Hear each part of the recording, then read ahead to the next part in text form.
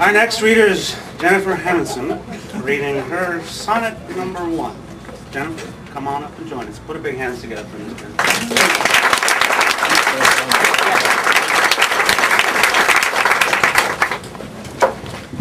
From cities and from foreign lands they come to learn at feet of literary stars. And God forbid they'd come across some bum on nightly wobbles round to Pedmall bars. There's loads of money here for all the arts, millions to throw at Moen's latest dream, but no dime for that guy who reeks of farts down by the Pedmall's fountain steady stream. In old times, hard-up writers begged a meal, a beer, a smoke, a character or scene.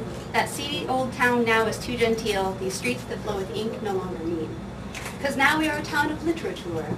There are no Nobel Prizes for the poor.